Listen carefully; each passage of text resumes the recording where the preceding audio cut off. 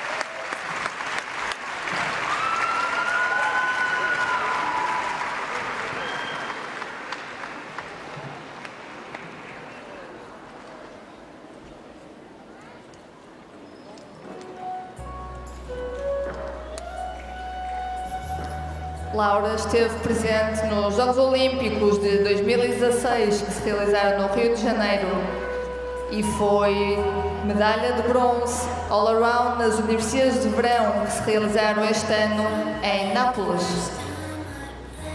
Laura was present in the Olympic Games 2016 that were in Rio de Janeiro and she was bronze all-around medalist in the 2019 Summer University in Napoli.